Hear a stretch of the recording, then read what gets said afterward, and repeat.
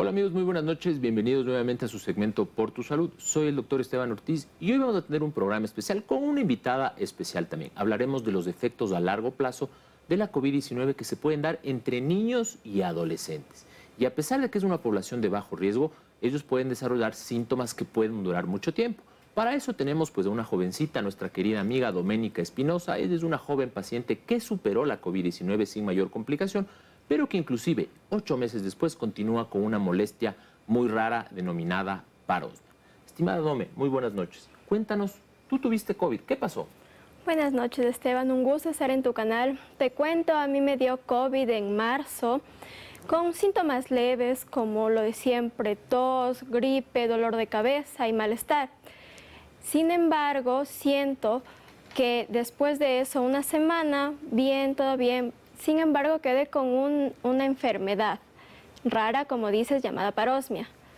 Perfecto, es decir, que tú después del COVID, que fue relativamente leve, tú hoy por hoy hueles feo a pesar de que huelas, por ejemplo, un perfume, un pastelito, un café, que son sustancias que huelen rico, tú percibes estos dolores como desagradables. Cuéntanos un poquito más, por favor. Sí, de hecho, como dijiste, yo ya voy ocho meses con esta enfermedad. Esta enfermedad produce que yo olores o sabores que deberían ser agradables para las personas, a mí me parecen fatales, son desagradables totalmente y ya voy bastante tiempo así. Perfecto, es decir, el mensaje final a nuestros amigos jóvenes y adolescentes que no se quieren vacunar, ¿qué les dirías?